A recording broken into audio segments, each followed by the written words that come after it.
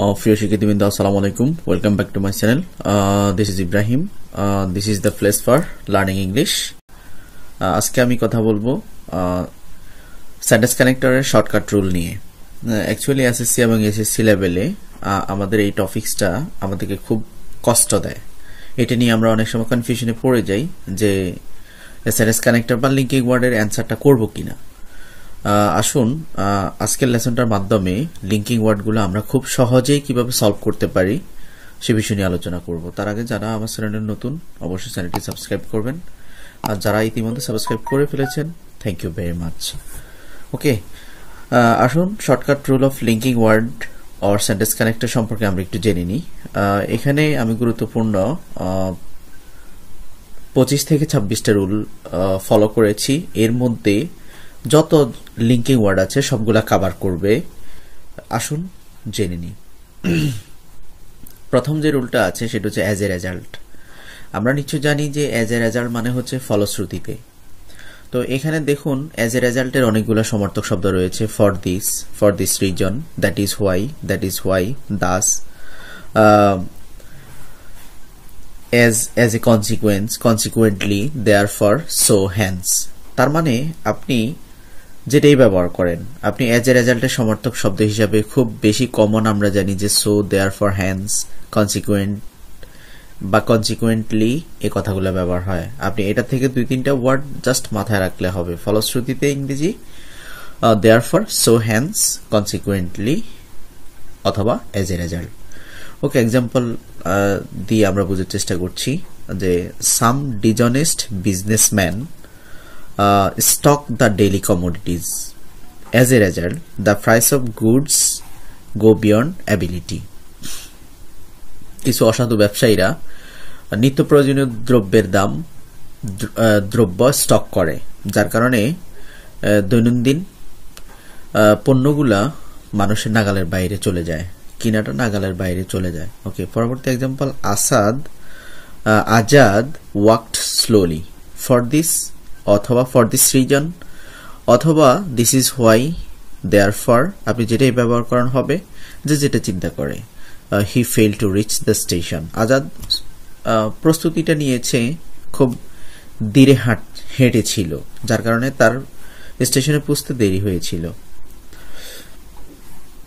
হি violated মাই instructions সে আমার ইনস্ট্রাকশনটা violet করেছে, ভঙ্গ করেছে। অ্যাজ এ রেজাল্ট অথবা অ্যাজ এ কনসিকুয়েন্টলি অথবা হ্যান্স অথবা দেয়ার ফর অথবা ফর দিস অথবা for this reason that is why as a result so আপনি যেটাই ব্যবহার করেন, এখানে কানেক্ট হবে he had to suffer much সে আমার ইনস্ট্রাকশনটা ফলো করে নাই, যার কারণে সে অবশ্যই কি করবে? সাফার অনেক সাফার করবে। দুই নম্বর রুলে আসা যাক ইন কনক্লুশন ইন কনক্লুশন আমরা জানি যে পরিশেষে বা সমাপ্তিতে ইন কনক্লুশন ব্যবহার হয়। এখানে ইন শর্ট ইন কনক্লুশনের সমর্থক শব্দ হিসাবে আমরা ব্যবহার করি in short in brief in few words in a nutshell in fine to sum up to summarize on the whole এতগুলো তো মাথা রাখা যাবে না। আপনি জাস্ট কনক্লুশনের পরিবর্তে কনক্লুশনটা মাথায় রাখবেন ইন ব্রিফটা মাথা রাখবেন টু সাম আপ এই দুইটা বা তিনটা ওয়ার্ড আপনি মাথায় রাখবেন, তাহলেই আপনার কনক্লুশন বা পরিশেষে বা সমাপ্তি বোঝানোর জন্য আপনি লিঙ্ক ওয়ার্ডটা করতে পারবেন। Okay his whole family depends on him তার পুরো পরিবার তার উপর নির্ভর করে। ইন আ ওয়ার্ড এক কথায়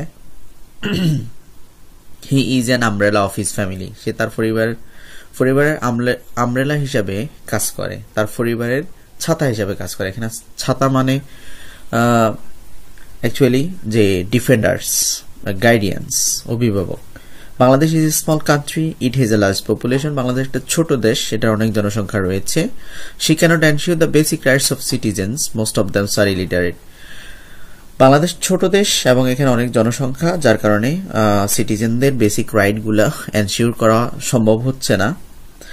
কারণ এখানে অধিকাংশ হচ্ছে ইলিটারেট অশিক্ষিত।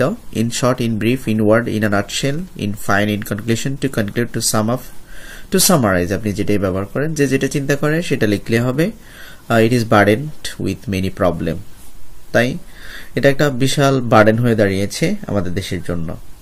রুল থ্রিতে যেটা আছে সেটা হচ্ছে বিসাইড তাছাড়া। আমরা জানি বিসাইড অর্থ তাছাড়া। এরপরে যদি আপনার এই লিঙ্কিং ওয়ার্ডগুলো নিয়ে কোনো কনফিউশন থাকে, আমার এর আগে আরও দুটো লেসন আছে লিঙ্কিং ওয়ার্ডের উপরে। আপনারা লেসনটা দেখে আসবেন।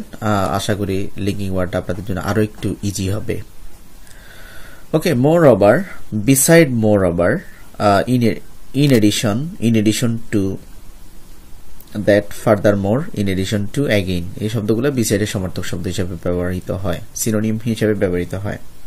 যাই হোক, এখান থেকে আপনি যদি বিসাইড মোর ওভার এই দুইটা শব্দ মাথায় রাখেন, তাহলে আপনি অতিরিক্ত তথ্য, অতিরিক্ত ইনফরমেশনগুলো দেওয়ার ক্ষেত্রে এই ওয়ার্ডগুলো ব্যবহার করা হয়। Rahman bought a house. Beside this he bought a car Rahman একটা বাড়ি কিনেছে। তাছাড়া তার পাশাপাশি সে একটা গাড়িও কিনেছে। Our country is beautiful country moreover she is full of natural resources দেখুন, এখানে বলছে আমাদের দেশটা একটা সুন্দর দেশ। এখানে সুন্দর দেশটাকে আরেকটু বিশেষায়িত করার জন্য আরও কিছু তথ্য ইনফরমেশন এখানে দিয়েছে। সেটা হচ্ছে moreover it is a full of natural resources প্রাকৃতিক সম্পদে দেশটা ভরা। Beside a colour television beside colour television the bridegroom demands motorcycle colour টেলিভিশনের পাশাপাশি এখানে বরে ডিমান্ড আ মোটরসাইকেল বর মোটরসাইকেল ডিমান্ড করেছে। Okay rule four and as well as along with together with এখানে দেখুন অ্যান্ড মানে এবং। আমরা জানি যে এবং as well as along with together with একই শব্দ। অর্থ এবং।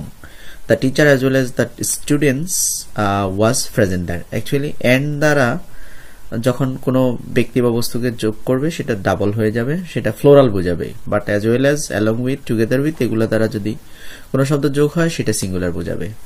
পার্থক্য হচ্ছে এতটুকু। The students went to the principal and demanded new facilities in their college libraries okay এখানে আমরা অ্যান্ড ব্যবহার করেছি। ছাত্রছাত্রীরা প্রিন্সিপালের কাছে, ছাত্রছাত্রীদের প্রিন্সিপালের কাছে গিয়েছে এবং ডিমান্ড করেছে কিছু ফ্যাসিলিটিস কিছু সুযোগ সুবিধা তাদের কলেজ লাইব্রেরির জন্য। The boy was as the boy as well as his brothers has come এখানে বালকরা এবং the boy as well as his brothers has come তার বাইরা বাইয়েরা এবং বালকরা এখানে এসেছে। ওকে রুল ফাইভে যেটা আছে রিলেটিভ প্রোনাউন আমরা অনেক সময় ভুল করি রিলেটিভ প্রোনাউন ব্যবহার করতে গিয়ে মাথায় রাখতে হবে, মনে রাখতে হবে। ব্যক্তির ক্ষেত্রে হু বসে, বস্তুর ক্ষেত্রে হুইচ বসে, আর অধিকাংশ সময় ভার্বের সাথে দ্যাট বসে। কোনো কিছু জানতে চাওয়ার ক্ষেত্রে আমরা জানি যে হোয়াট অথবা কিছু কিছু ক্ষেত্রে হোয়াট বসে। ব্যক্তি যদি অবজেক্টিভ বুঝায়, তাহলে হুম বসে এবং ফসেসিভ বুঝালে হুজ বসে। দা বয় হু। আমরা জানি ব্যক্তির সাথে হু বসে সো এখানে আমরা হু ব্যবহার করলাম। পরবর্তী this is the book which এখানে বস্তুর সাথে হুইচ বসে আমরা হুইচ ব্যবহার করলাম। I do not know that আমরা জানি নো ভার্বের সাথে হোয়াট বসে বা দ্যাট বসে, সেটা আমরা বসালাম। This is the boy whose pen আমরা জানি যে নাউনের সাথে হুজ বসে পসেসিভ বসে সো এখানে আমরা হুজ বসালাম। রোল সিক্সে দেখুন পার্টিসিপাল পার্টিসিপাল বা ইনফিনিটিভ অনেক সময় দেখা যায় যে এগুলো খুবই ব্যতিক্রম।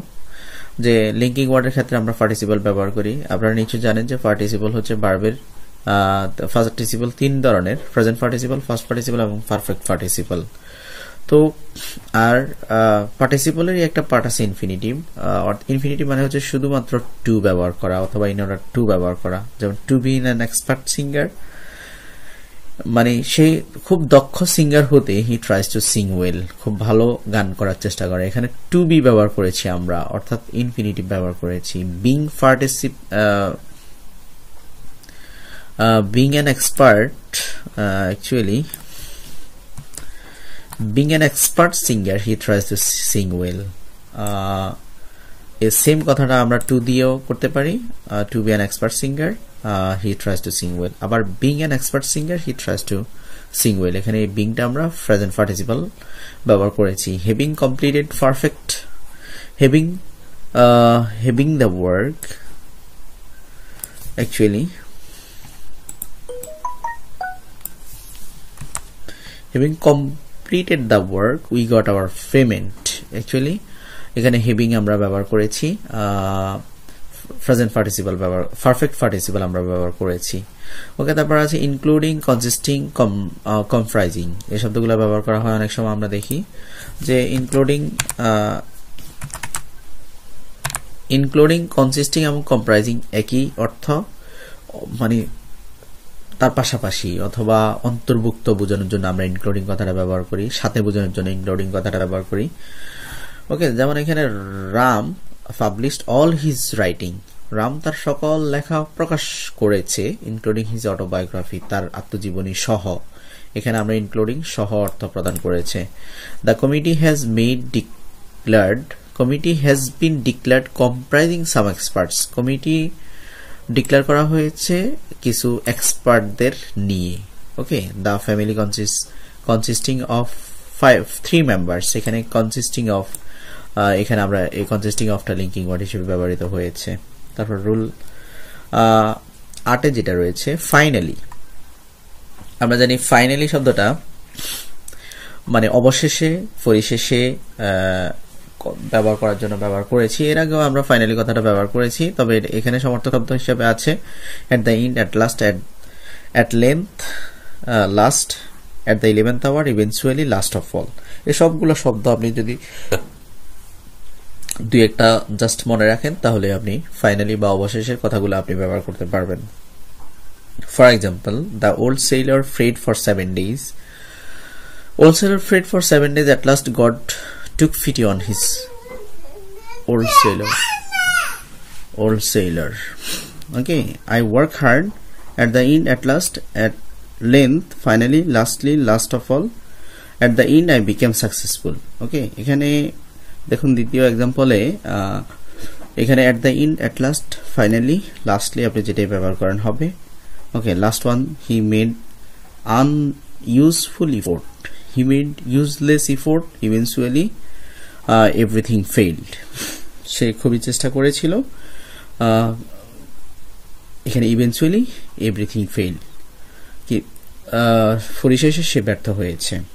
ওকে এরপর আছে রোল নাইনে যেটা আছে to also as well as আমরা শুধুমাত্র টুর সমর্থক শব্দ হিসাবে অলসো অ্যাজ ওয়েল এই শব্দদ্বয় ব্যবহার করি। যেমন, এখানে কয়েকটা উদাহরণ দেওয়া আছে, Sujan needs a pen he also need a book সুজনের যেমন কলম দরকার তার বইও দরকার।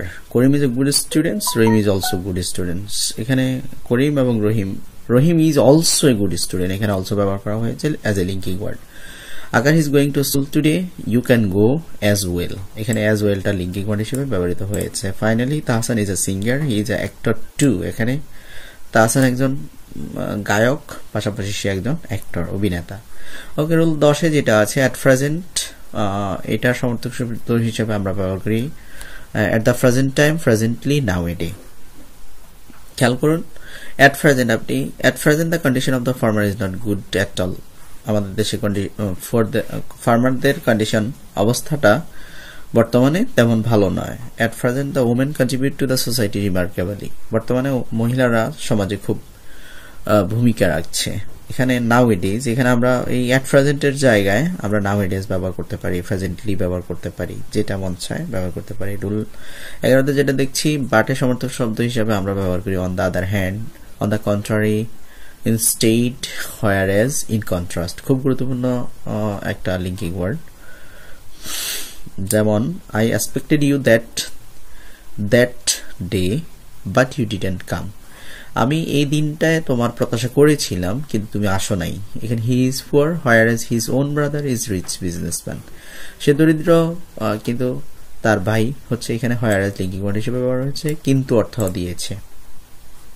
Dhaka is overpopulated on the other hand on the contrary in contrast whereas Khulna is a less populated Dhaka অনেক জনবহল নগরী, কিন্তু খুলনাতে এত জনসংখ্যা নেই।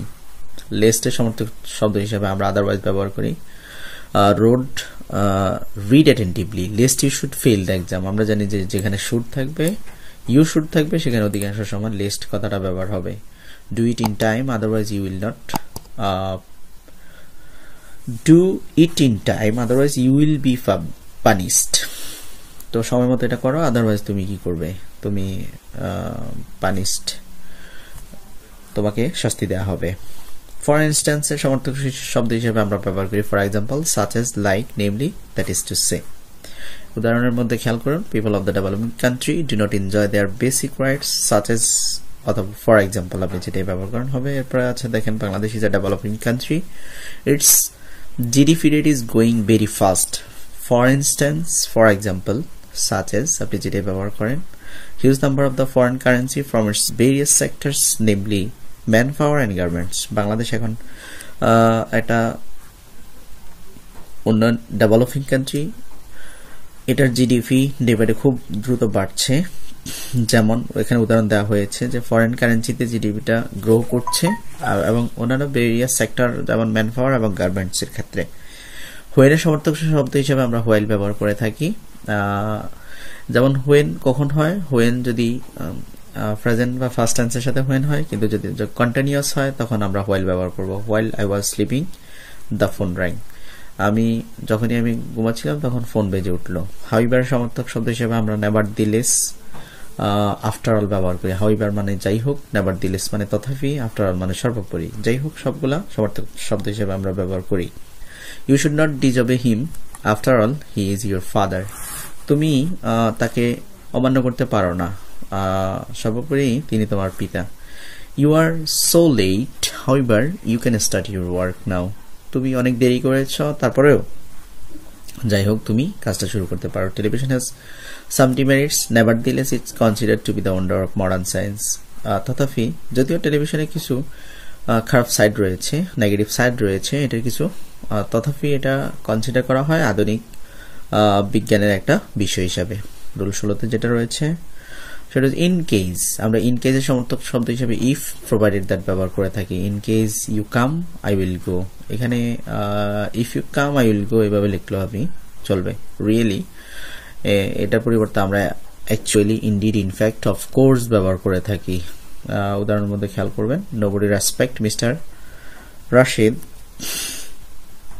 in fact he is not an honest man কেউ রাশেদকে কি করে না? সম্মান করে না।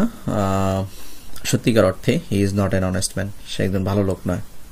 এমনিভাবে আপনি এই সেম সিমিলার প্লেসে আপনি অ্যাকচুয়ালি ইনডিড ইনফ্যাক্ট যেটা মন চায় সেটা ব্যবহার করতে পারেন।